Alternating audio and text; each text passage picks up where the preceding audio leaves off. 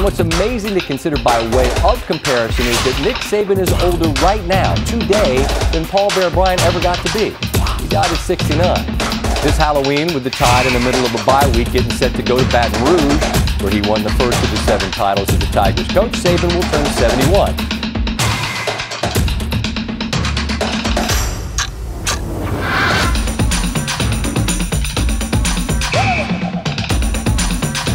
Where the Big Ten just announced its new media rights deal. Seven years with CBS, Fox, and NBC begins in 2023. The multi-platform agreement believed to be the largest in the history of college athletics. Welcome back, everybody, to episode 18, season number three. Thanks again for listening. I was hoping to get this uh, earlier this morning on Saturday morning. I think this is going to be released on Saturday night, but unfortunately, I had some things that came up. But, anyways, uh, we have Zack McKinnell on for the third time to talk about college football. As you know, this week was week zero, and next week is when week one officially starts for college football. So, I wanted him to come on. We talk about all sorts of college football things, like, of course, the Big Ten's new TV deal, um, also conference realignment. We also talk about Nick Saban's new contract extension, uh, three sleeper teams. We also talk about Georgia and Alabama, Bryce Young and Will Anderson. We mentioned them as they're both coming back. Um, we also talk about North Dakota State about a possible chance for them going D1 or going FBS instead of FCS. They are Division One right now um, because he just recently interviewed the athletic director for North Dakota State, so that was really great. Again, Zack McKinnell from the College Football Blue Bloods podcast. I think it's called the Blue Bloods CFB podcast, but again, you can just check him out. All the links should be down in the description below. Again, this is I think his second or third time coming on, so I'm really grateful he was able to come on, and it went well really well. So, again, don't forget to check out the Blue Bloods College Football Podcast. And as always, we have some other things as well. Um, but again, don't forget to check out our YouTube channel and a TikTok as we are uploading videos all the time. It's now Sportstown and just uh, the Sportstown Podcast. I think the URL, though, is Sportstown underscore network. But again, go check that out. Again, don't forget to check out Zack McKinnell, the Blue Bloods College Football Podcast. He interviews a lot of people, as I just mentioned. He interviewed the North Dakota State Athletic Director. He's also interviewed some college football players. That includes Louisville former quarterback Jawon Pass. So again, don't forget to check out the Blue Bloods College Football Podcast with host Zack McKinnell. And I think that's pretty much it. So let's get on to the episode. Before we start today's episode, I'd like to give a quick shout to our sponsor of today's video, and that sponsor is our good friends over at HelpYouFind.me. You're probably asking yourself, JJ, what is HelpYouFind.me? Well, I'll tell you what it is. Peter Sanchez, the founder, creator, and owner, was originally worried about his daughter and his mom always asking him for his travel details. HelpYouFind.me was initially created for collective peace of mind. 48 hours. These are the most crucial or most critical moments to find you in the event of an emergency, or worse, waiting for the legal process to t- access your important history information, which can take up to weeks upon weeks upon weeks. With Help You Find .me, you have your own secure and encrypted digital if I go missing file that can give you your most trusted people access to virtual information much sooner than the authorities. Each person you share with that has your has its own access rules and everything is completely encrypted. Not even help you find .me can access it. This puts you in total control of your data. You can also update your location, submit photos, screenshots, and post random information or notes on the go. It's as easy as texting with a friend. To find out more information, go to helpyoufind.me. Also, don't forget to use the promo code down low in my description if you use the promo code STP2021 to get 15% off your first order. Again, that promo code is STP2021 to get 15% off your first order. And go to, uh, if you want more information, go to helpyoufind.me. And again, I'll put the link down in the description down below. All right, let's get back to the show.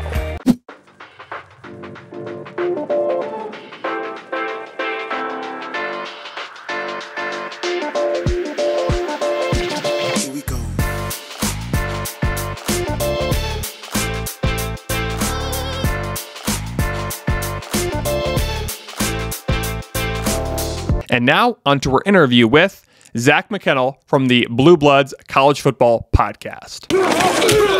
All right, I am pleased to be joined by a reoccurring guest, Zack McKinnell, host of the college football or host the Blue Bloods College Football Podcast. He's come on a few times. Thanks again for coming on, Zack.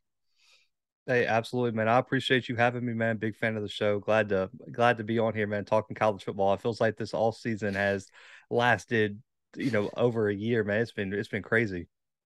Yeah, it's been. I mean, what actually, I think either this week or next week, college football starts. I think some places have already started now. I know high school football a lot of times around the uh, states has already started, but uh, yeah, college football right around the corner, and um, the NFL season, of course. But uh, we're here to talk about college football. Um, you've been on a few times, so probably most people know about your podcast. But if you want to talk a little bit more about your podcast, about your upcoming guest, and you've had some big guests, I know recently. Um, but yeah, if you want to talk more about that before we start diving into college football. Yeah, man. Uh, you can find us, uh, the Blue Bloods, on YouTube, all podcast uh, streaming platforms. Man, one of the only shows that covers FBS and FCS will be, um, as an organization, voting in the FCS Stats Perform poll, voting for the Player of the Year, Defensive Player of the Year, Coach of the Year, Freshman of the Year, everything like that. Man, so that's a big honor. We just had an interview with uh North Dakota State athletic director Matt Larsen talked a little bit about North Dakota State possibly moving up and some things going on there, man. Um, already dropping week zero previews, man. So, uh, anything you want to know about FCS to FBS football, you can find us on YouTube, podcast platforms. We also have a website now, thebluebloodspod.com. All right. Again, thanks for coming. Again, you can uh, check his uh, podcast and all of his links to his show right down in the description below, where it should be at least. So, um, I, I I won't forget it, but hopefully I don't miss anything or something like that. But again, that's interesting. You know, you brought in the uh, North Dakota State uh, AD, and um, there's been talk about them for a long time. I know we we didn't really talk much about this before, but um, if you want to kind of talk a little bit about North Dakota State, the chances of them going to FBS, I know there's been a lot of talks of it. They pretty much dominated uh, the FCS, but uh, within five to ten years, could you see them making that move? Yeah, I think that's a good time frame. I think a lot of people, what people mistake is football success leading to the entire university and the entire athletic mm-hmm. department moving up. And when you look at their financial structure, uh, North Dakota State's still not even a top 10 budget football team in the FCS. So they're doing this and they've only been FBS since 2004. So they're a very young FCS program too, and experienced almost immediate success. And I think eh, what people like what I said, people see the football team succeeding, but they're forgetting that if you move to the Mountain West, if you move to the MAC or wherever you decide to move, you still have to bring basketball. You still have to bring, um, you know, women's basketball. You still have to bring softball, baseball. Uh, hockey is a big thing for them too mm. in North Dakota, and when you look at the geographic footprint, North Dakota really doesn't fit anywhere. Their travel costs would skyrocket having to travel to like San Diego State and Hawaii in the Mountain West. You got to go travel all the way to the East Coast in the MAC. And so the Dakotas are just in a weird placement. And it's not a TV market, as we've seen TV market drives conference realignment.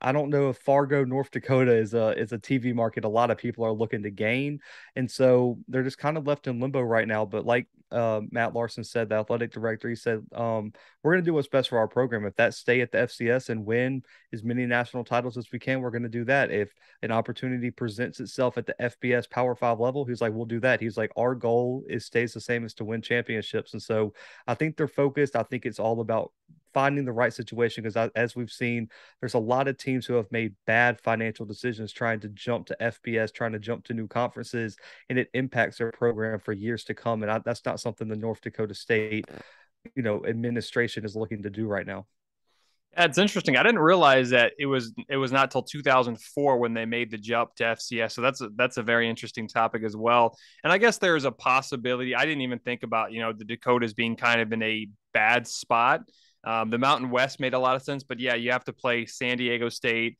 Um, now I know the Big Ten is starting to bring in uh, um, teams in California. We'll talk about U- USC and UCLA a little bit later, but yeah, that's interesting with North Dakota State. I, mean, I guess they could be independent um, but that would be kind of a little bit harder to do. But still, I mean, yeah. it is interesting. So it's a recipe for disaster too. I think mm-hmm. independent, the only teams that have been successful are the BYU's and the Notre Dames that have the mm-hmm. funding behind them. And you know, you mentioned the Big Ten expanding that far. The athletic budgets just don't compare. And really, the best geographical fit for the Dakotas would be the Big 12. Mm-hmm.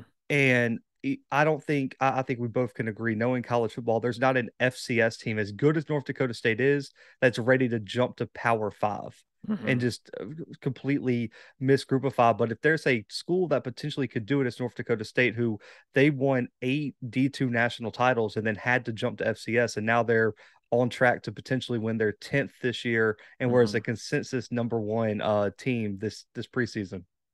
Yeah, no, I guess there was two. There was also talk about their stadium being too small, but I think Northwestern yep. has only a what size of forty thousand, and is North Dakota State? What are they? Thirty between like, thirty and thirty five. No, they're like the dome only holds like I think twenty thousand. Okay, yeah, or so just under really that.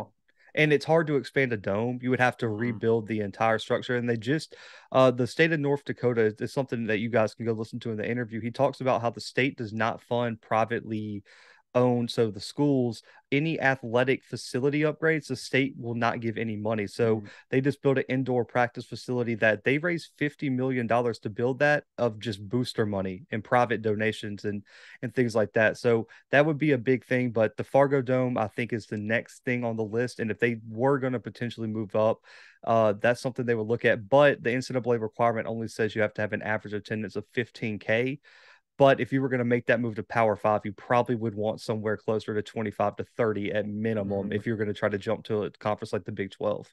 Yeah, that makes sense. And it I didn't realize it either, but that is a very it's an interesting really point because it seems like they're kind of in a bad and a really tough spot. They can continue dominating, but I feel like people are going to pressure them possibly into moving.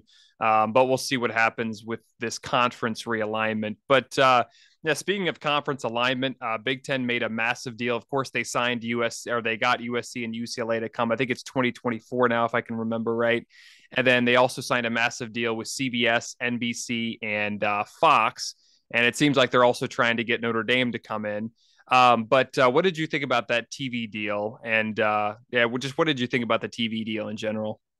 I mean, I I think it was expected. I think they still mm-hmm. probably got a discount, and I've heard that if they add a Notre Dame and Oregon or something like that, they could be pushed upwards of 10, uh, 10 billion.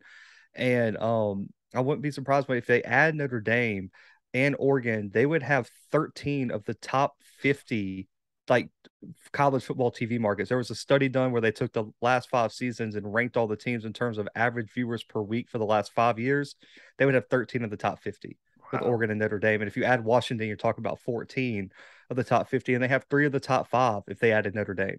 So it, it makes sense when you look at the viewership, when you look at the TV markets that they have, have now acquired. You you have the Maryland area with Maryland, Rutgers, and those in those Northeast schools. You have the Midwest with the Ohio States, the Michigan, the Michigan States, even the Iowas over there in, in the Midwest too. And now you add the LA market, which is probably the most sought after market in in the country I mean, it makes sense, and they've really and truly probably got a discount because, as we know, it's this works the same way NBA contracts do or mm-hmm. NFL quarterback contracts do. The next guy always sets the market, so I can only imagine what the SEC's next deal is going to be after they re up, and, and I think it's like seven years is what they signed with ESPN. But they're the TV deal for the Big Ten, just to put it in perspective, is bigger than the entire TV deal for the entire NHL. and almost bigger than MLB's TV deal. So this is the, and I don't, I'm not surprised because college football, as we both know, is one of the hottest sports in terms of mm-hmm. t- people people watching. Yeah. I, I think it's just going to keep growing higher and higher. I think they got a discount. I love that they went and got Peacock and NBC because now you've got Notre Dame's two biggest rivals. You have Notre Dame's TV network. Why wouldn't they come? In, in the longevity of things. So mm-hmm. I, I, really like the Big Ten's move, and I think they just keep setting the market, man. That that is as much credit as the SEC gets for dominating the football field. The Big Ten gets all the credit in the world for dominating the negotiation table and the business aspect of things because they've been the leaders of this across college football. And I was really impressed that they got this put together. But let's be honest, they probably got to steal, especially if they start adding some more teams. Yeah, it's it's the rich get richer pretty much right now for the Big Ten, and yeah, it's just like it seems like the Big Ten is just going to get as much teams as they. I know there was talks about them getting North Carolina a few years ago. There's probably even talks about them getting Clemson, even though I think if Clemson did jump conferences, it would be the SEC. But it is interesting, and you also mentioned where college football is is very popular here in the states. It's probably ranked number two, to be honest with you, behind the NFL, and it's probably over the NBA, it's over the MLB, it's over the NHL. It's just crazy how much college football is, you know, it's just watching it just it's literally the number two sport even though it is football but it's it's college football so and it, it's basically also the developmental league to the nfl really if you think about it so um anyways though but usc and ucla uh jumping ship to the big ten um did did this did this really surprise you, or what did yeah did did, did this just did this surprise you? I think it surprised everybody. If you would have, mm-hmm. if, if you just took a time machine back to like six, seven years ago, and I and I came on your show, let's say it was around, and I said USC UCLA is going to play in the Big Ten in six, seven years, you would have been like, all right, I'm never inviting you back on the show ever again. This dude is out of his mind. And I mean, it is following the money. I forgot what the exact number was, but UCLA paid off their entire debt just based off like what the TV deal potentially could be. Mm-hmm. And uh, it, when you look at that type of money, people mention the travel and and that's fine but when you're making as much money as some of these schools are and are backed by the boosters that these schools are that doesn't matter. You don't you don't think ucla can afford to fly the women's basketball team to maryland on a wednesday night? Yes you know the school's going to take some hits in terms of you know people missing classes and things but financially it's all about the money and the big 10 made a good offer and let's let's be honest the pac 12 uh, uh, just moved uh, just switched commissioners what last summer last summer mm-hmm. and they've made some really bad deals the tv deals atrocious the pac 12 network was a bust the conference has been unstable since the end of the usc dynasty if, if I'm any of the other Pac-12 schools, I'm I know they've been in talks with Oregon and Washington. If I'm Oregon, I am trying to kick down the door. I'm sending I'm sending Phil Knight and Nike money. I'm sending everyone I can to say, please don't leave me here and what's left over with the Pac 12. So I don't think conference realignment's over, but I think everyone's shocked just because no one ever foresaw what the money would be in college football a few years ago. But now with conference realignment, I can't blame any of the schools for jumping for that money because if you told me if I had an organization, a college football program, and you told me I was might make a hundred million dollars just off of TV revenue, I'm signing that dotted line mm-hmm. easily. Yeah, I mean it's pretty uh, it's pretty a pretty easy decision for both USC and UCLA, and especially with the Pac-12 being um, just not as good as or not as dominant as because because back in the 2000s when USC was dominant, they were one of the top conferences. I mean, they were still a top five or Power Five conference, and technically they're still that Power Five conference. But it seems like now more than ever they're starting to lose it. But um, also too with Notre Dame, uh, there have been talks about them joining the Big Ten, and it's interesting because I think most sports they're in the ACC, which yeah. the Big Ten makes more sense, right? Because they're in Indiana, that's more of a Midwest region. But as we've just mentioned, it's not really about regions anymore. Um, do you think the Big Ten would be a better? Well, it looks like it's going to be a better option, but do you think Notre Dame goes to the Big Ten in football, and then what would they do elsewhere? Would they have to move in the Big Ten in every sport, or what's what's that? What's going to happen with Notre Dame? I think that would be the deal. I don't think you would just try to bring Notre Dame football over. Mm-hmm. I, I, would imagine they would bring all their sports over, and I don't think they would have an issue doing that if the money was right and it made it made sense to the administration. I think Notre Dame has been fine being its own brand in college football, but I think when you're looking at the landscape of where things are going with a potential Power Two, Power Three, whatever you want to call it, or just a Power Five breaking away, it's way too risky. Even if you're Notre Dame, to be out on your own somewhere mm-hmm. in terms of a football program. So I think the Big Ten, eh, whether it's this year, two years from now, three years from now, I think Notre Dame's ultimate home is going to be the Big 10 mm-hmm. And if, like I said, you mentioned too, you think that all sports are going to, uh, you know, eventually going to leave the ACC and go to the Big Ten. Um, do you think it's a good idea? I know you just kind of mentioned too that it's probably a better idea to just stay or just go to the Big Ten instead of just staying as an independent brand. But what happens if Notre Dame decides not to go to the Big Ten, which it, that would be crazy, especially right now with what it's looking like? Could they could they base could they still be uh a, could they still stay in the uh being an independent and still being good? I mean, what do you think about that? I mean, I, I don't think it's going to impact the talent on the field that they're getting. Mm-hmm. Is it's still going to be Notre Dame? They still hired a great coach in Marcus Freeman. They got a great staff, and it's still the brand of Notre Dame. But I think when it when you look at being independent, are they going to get a solo TV deal that rivals anything compared to what they would even be getting as a cut of the Big Ten? I, I don't know if you can you could say that, and I don't think I think it's going to come down to how hard the ACC pushes, which I think is going to be really hard. Mm-hmm. But are they going to compete with the offer that the Big Ten is going to throw at them? And I just don't know if that's the case because because a lot of people are going to say, okay, why would you want to leave the ACC in basketball? And that's fine. You got Duke, UNC. We know what the st- statuses in the ACC, you got some really successful basketball teams too. Michigan, Michigan State's historically great. Ohio State has had some success in the tournament. Like you still have really good brands. Maryland basketball has been really good as well. So I don't think you're taking a big step back. I mean, I think Iowa was what a number two seed last year or three seed and, and Wisconsin's been good. Minnesota's made the tournament, so I don't think the basketball is going to be enough to keep them in the ACC. If the ACC does not throw the same offer or even a similar offer at them that the that the Big Ten is potentially going to, I don't see how they're going to stay in the ACC, even with all the other sports already being tied into the conference. Yeah, I mean it make it makes sense for Notre Dame, I think, to go to the Big Ten and just kind of move every sport they can to the conference. And speaking of the ACC, um, it seems like ACC is kind of if you're not a Clemson or if you're not a Miami or if you're not North Carolina, you're kind of feel like kind of screwed because those teams could move to a different conference like the SEC or Big Ten. But do you think Clemson stays in the ACC or the top teams, or what do you think is going to happen with the ACC overall? I think it depends on what the top teams do because I think when you look at that conference, you have a lot of ties in other sports. Mm-hmm. Duke and UNC are not splitting up. Let's just put that out there. They are going to the same conference. You have, you know, the Florida States of Miami's where where where could they potentially fit in? You have mm-hmm. Louisville kind of sitting out there in the in the state of Kentucky. Could that be an SEC target? And it's just it's a weird geographical conference too, where it's like could the northern teams all go to the Big Ten? Could the southern teams all go to the SEC? But I think until the Clemson, Florida State, UNC's, I'm even throwing Duke in there because of basketball. Mm-hmm. Until those teams make a move, I don't see the I don't see the other teams in the ACC really bolting. Now we know that UNC and some of these teams, Florida State, have had potential conversations conversations with both the Big Ten and SEC. But until a national brand makes a move, I don't expect the rest of the ACC to really have it foresee what's going to happen. I think they're just going to kind of try to stay put the best they can and kind of see what happens with the landscape of college football.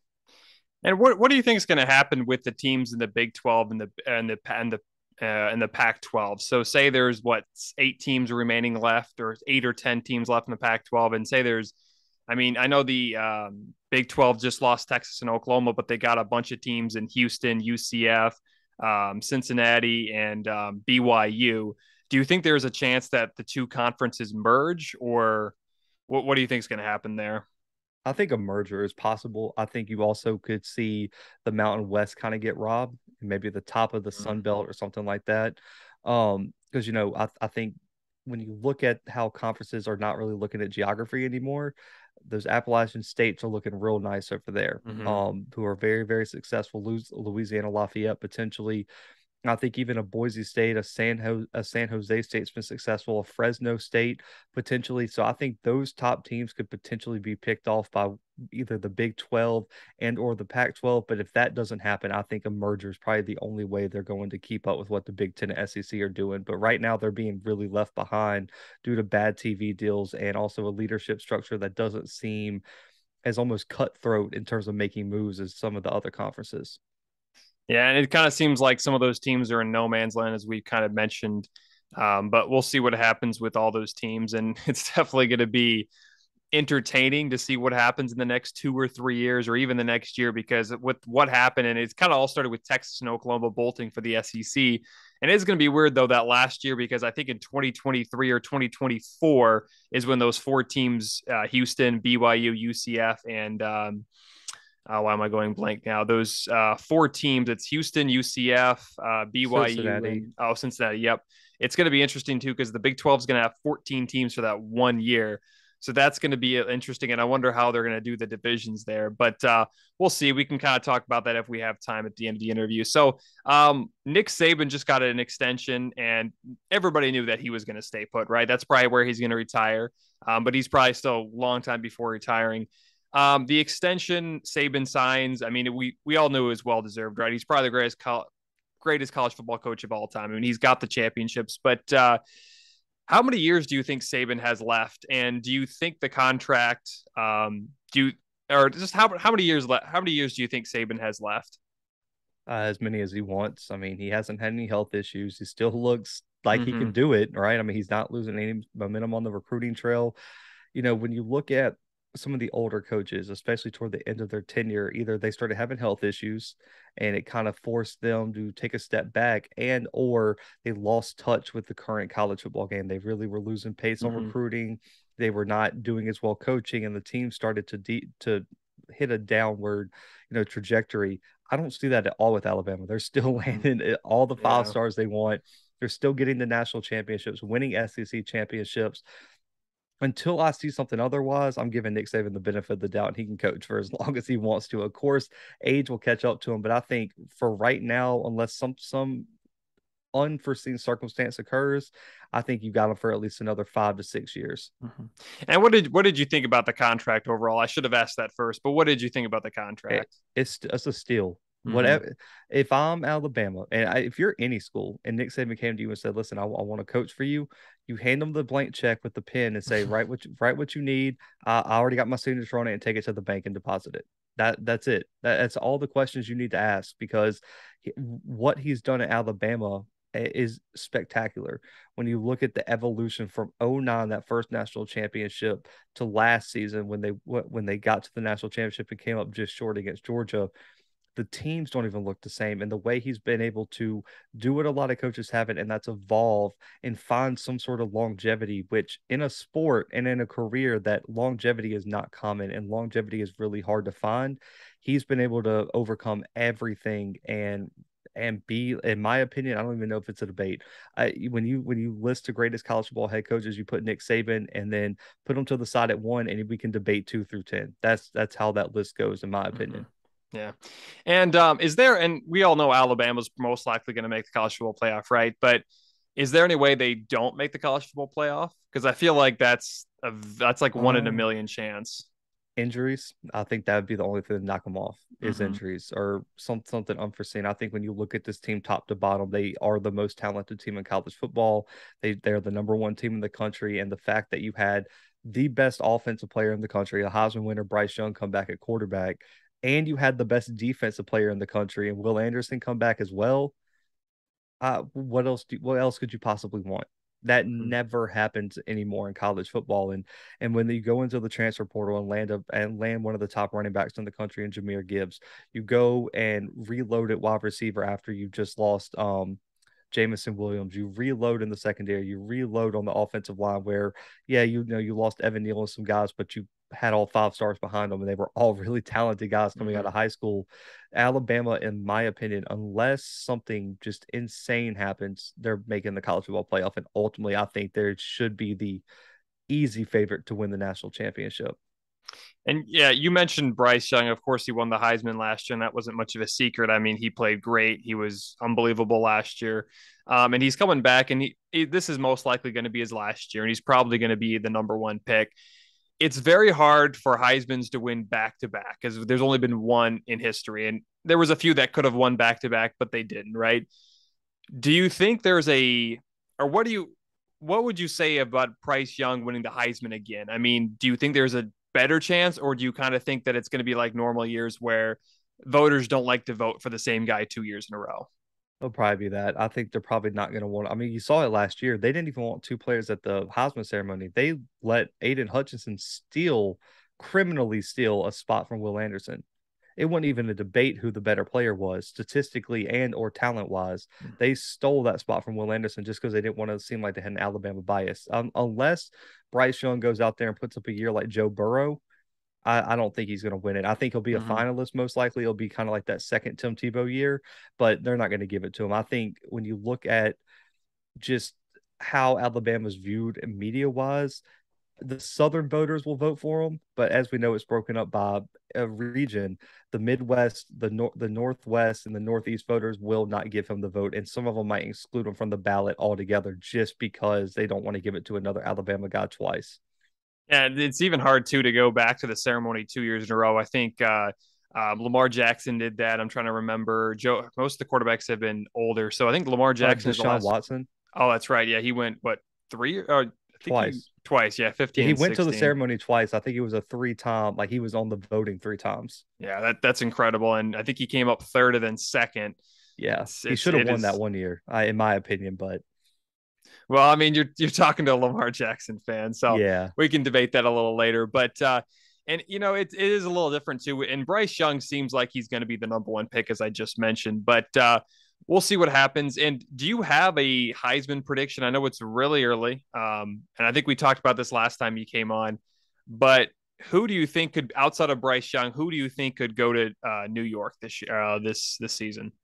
Uh, CJ CJ Stroud, just because man, the mm-hmm. voters are so biased to quarterbacks, and the fact that he had such a great year. If he puts up similar stats and they got a great wide receiving core, I wouldn't be surprised if CJ Stroud's the favorite. Now, Will Anderson is such an interesting case for mm-hmm. me because we when you look at some of the defensive players that people have argued, you look at Chase Young, um, you look at Aidan Hutchinson, you look at Ndamukong Suh in 2009.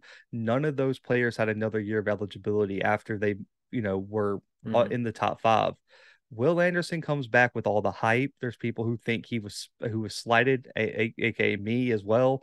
And if he goes out there, I mean, you got to look at him at the DN edge spot. Had a 100 plus tackles, 30 plus tackles for loss, and almost 20 sacks last year. What if he hits that 20 sack mark and has another 30 plus tackle for loss year and hits 100 tackles again? Man, what else does a defensive player need to do? Mm-hmm to win that award. And so I think Will Anderson's an interesting case. And there's a sleeper up in Pullman, Washington that I want everyone to know his name, and it's Cameron Ward. Transfer quarterback to Washington State. Now he's coming from the FCS level. He was a FCS All American last year. Was the Jerry Rice Award winner in the spring season, which is given to the best freshman of the year. Was a finalist for the Walter Payton Award, which is given to the best offensive player in FCS football. This is a guy who was under recruited. He ran the um, wing T offense in high school, so he threw like 50 passes his entire high school career. Goes to Incarnate Word, comes out last season, throws almost 50 touchdowns and almost 5,000 yards. And he he's teaming up with his with his former head coach who's now the OC at Washington State. So he doesn't have to learn the offense. They already know each other and he gets an upgrade at wide receiver and all these talent positions at the FBS level. Cameron Ward is the type of guy who can emerge like a Joe Burrow and just have a ridiculous year out of nowhere. And I'm telling you, he has all the accolades. He was just to kind of give you a uh, perspective, he was ranked a top five player in the transfer portal from the FCS level, above Bo Nix, a former five star, just as high as Caleb Williams, who was a former five star. That's how much the scouts love him. I'm telling you, Cameron Ward is a sleeper up in Washington State. That's that's an interesting one, and I, you know, honestly, I didn't really hear much about him, but yeah, that's another uh, another good uh, sleeper pick, right? And uh, speaking of sleepers, um, I know this is we're running out of or we're running bit out of time, so I don't want to uh, run this over here. But uh, do you have three sleeper teams? And it can be from any type of conference. It can be from the same conference. But do you have three sleeper teams um, that could possibly emerge oh. as a make to the college football playoff? Hmm. You see, it's so tough because you know I, I, was I was doing a show the other day and asked this question. It for me, anyone below like three is a sleeper because mm-hmm. like everyone's just looking at Ohio State, Georgia, um, Alabama running away with this. I, have been really high on this team. They're a top 10 team, even though they're a sleeper, but the brand is something I think is keeping them in that sleeper spot, and that's Utah. Mm. I really, really like Utah this year. They bring back um, their leading rusher, they bring back their quarterback.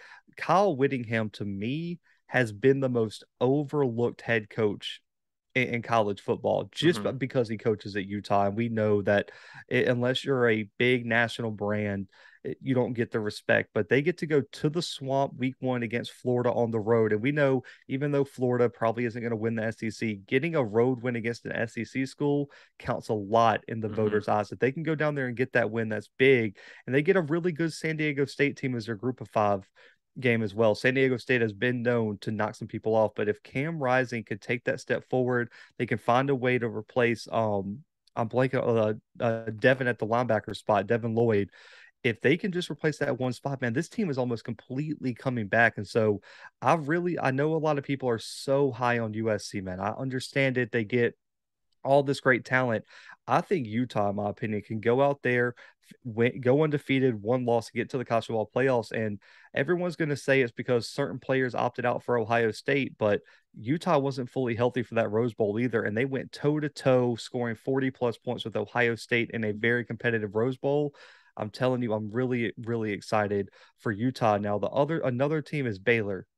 Mm-hmm. I think Baylor, in my opinion, is getting overlooked as well. It's the same reason that Utah is getting overlooked. Is there's a new team in town getting a lot of hype, and that's Texas. They get you know, Steve Sarkisian year two. They land Quinn Ewers, Bijan Robinson's coming back, and we know the narrative. Every year, Texas is back.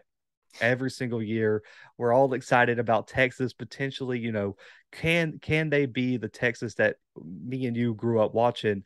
I think Baylor, in my opinion, with everything they're returning, is going to play spoiler to that. I think when you look at what Dave Aranda's built, he has he's one of the greatest defensive minds in college football, in my opinion they have a really really good chance to re- to go back to the Big 12 championship. They have a tough road game against BYU that they're going to have to overcome.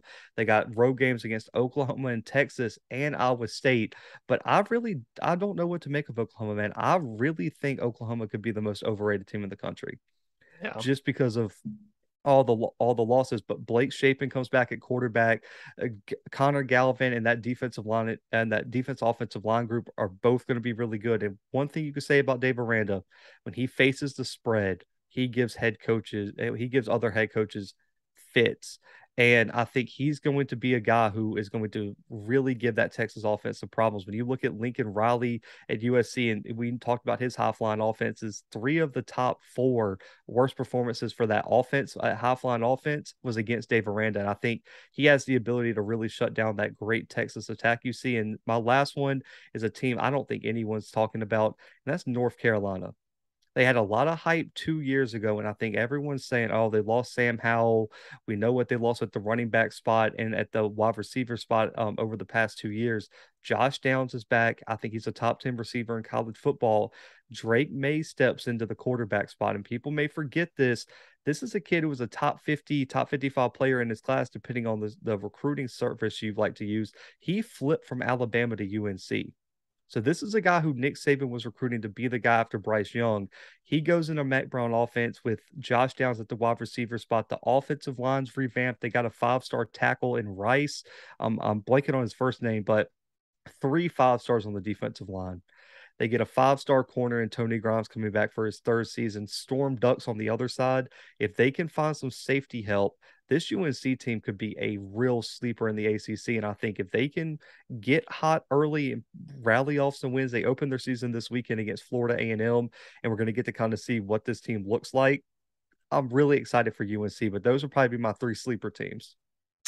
All right. Again, thanks for coming on, Zack. Again, um, don't forget to check out the Blue Bloods College Football Podcast. The links will be down in the description below. Again, I can't thank you enough for coming on again, Zack, and talking about a preview of the uh, 2022 college football season. It's going to be exciting, especially with all with how big the offseason was and even into last year as well. So again, thanks for coming on, Zack, and um, enjoy the football season. Hopefully, I can have you on before or sometime during the football or college football season. So again, okay. thanks for coming on, and um, enjoy the rest of your night. Thank you, man. The STP Sports Lightning Round. Your biggest sports stories in the world this past week. The 2022 MLB draft took place at Los Angeles, California during All Star Week. I forgot to do this a few weeks ago, and I, because I thought I had already done it, but this is why it's a little bit late, just because I forgot. Uh, the Baltimore Orioles had the top pick. The Dodgers were the only team without a first rounder, as their top pick was dropped 10 places to 40th overall for exceeding the luxury tax last year. Baltimore had the number one pick and selected Jackson Holliday, the son of former World Series champion Matt Holliday. Jackson Holliday is from Stillwater High School and plays shortstop. The Diamondbacks had the very next pick and selected Drew Jones, outfielder out of Wesleyan High School in Georgia. The Rangers had the third pick and took right handed pitcher Kumar Rocker from Vanderbilt. The Pirates had the fourth pick and drafted Termarr Johnson, shortstop from Benjamin E. Mays High School in Georgia. The Washington Nationals had the fifth pick and selected Elijah Green, outfielder from IMG Academy in Florida. The Marlins had the next pick and took Jacob Berry, a third baseman slash outfielder from the University of LSU. The Chicago Cubs had the seventh pick and drafted Cade Horton, pitcher from the University of Oklahoma. The Minnesota Twins had the eighth pick and took shortstop Brooke Lee, Brooks Lee from Cal, Cal Poly University.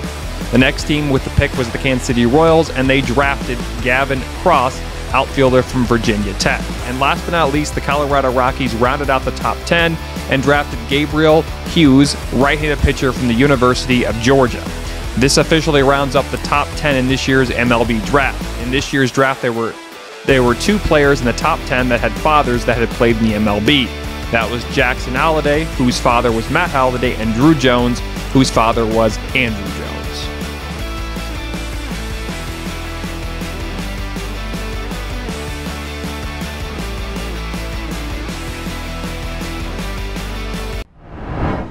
All right, that's the show. Can't thank you enough for listening to the Sports Town podcast. We really appreciate it. Check us out on Instagram and Facebook at Sportstown underscore podcast or on Twitter at Sportstown Pod. We release new episodes every week. Thanks for listening and have a wonderful day.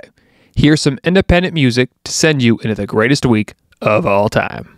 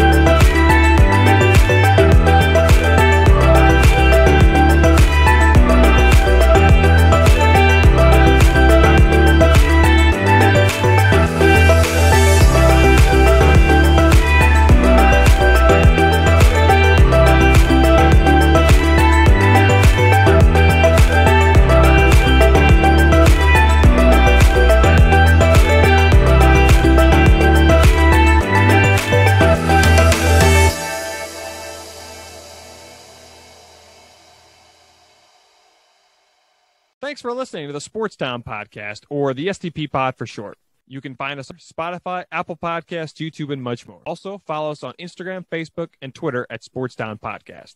If you want to check out more videos of the Sports Town Podcast, click on the right.